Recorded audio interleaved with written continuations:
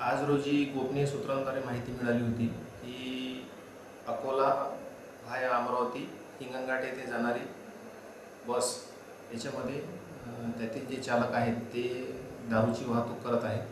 आणि त्यावरून आम्ही त्यांची पंचासमक्ष झडती घेतली असता. बॉनेटमध्ये लपून ठेवलेली दोन पिशव्या आढळून आलेल्या आहेत.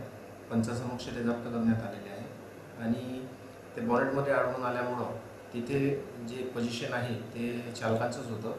आणि चालकाला त्याबाबत विचारपूस केली असता चालकाने उडवाउडीची उत्तरं दिलेली आहे.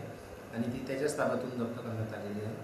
यावरून सदर वाह बसमध्ये दारूची वाहतूक हा चालक हा सदर वाहनाचा चालक हा स्वतः करत असल्याचे निष्पन्न झाल्याने सदर चालकास त्या गुन्ह्यामध्ये दारूच्या गुन्ह्यामध्ये अटक करण्यात आलेली आहे.